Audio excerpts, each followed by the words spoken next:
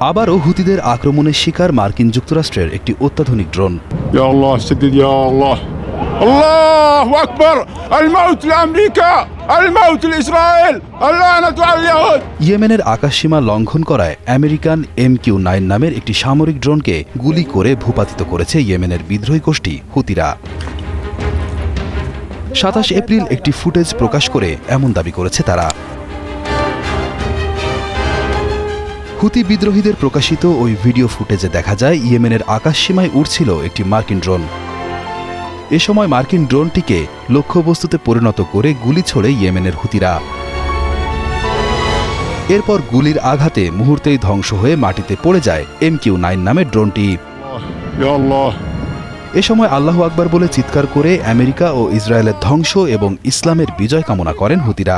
الموت لاسرائيل اللعنه على اليهود النصر للاسلام يا الله لك الحمد يا الله الذي كان يقوم بأعمال عدائية في الأجواء محافظة صعدة ونقول للعدو الأمريكي والبريطاني أن مصير طائراته سيكون ফিলিস্তিনের অবরুদ্ধ গাজায় ইসরায়েলের আগ্রাসন শুরু হওয়ার পর থেকে এ নিয়ে তৃতীয় কোনো মার্কিন সামরিক ড্রোন গুলি করে ভূপাতিত করল হুতি গোষ্ঠী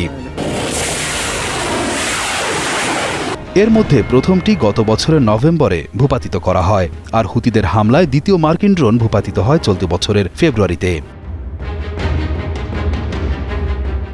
এর আগে গত পঁচিশ এপ্রিল যুক্তরাজ্যের একটি তেলবাহী জাহাজে ক্ষেপণাস্ত্র হামলা চালায় হুতিরা।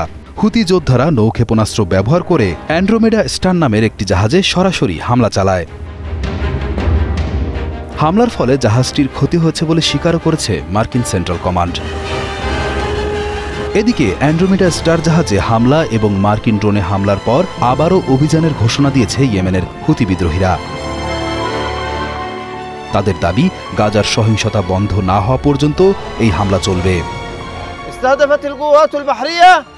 গাজা উপত্যকায় ফিলিস্তিনি জনগণের বিরুদ্ধে আগ্রাসন বন্ধ না হওয়া পর্যন্ত হুতিরা ফিলিস্তিনি জনগণের সমর্থনে আরও সামরিক অভিযান চালিয়ে যাবে। মূলত ফিলিস্তিনের গাজা উপত্যকায় দখলদার ইসরায়েলের হামলার প্রতিবাদে লোহিত সাগরে ইসরায়েল যুক্তরাষ্ট্র এবং যুক্তরাজ্যের মালিকানাধীন জাহাজে হামলা চালাচ্ছে হুতিরা।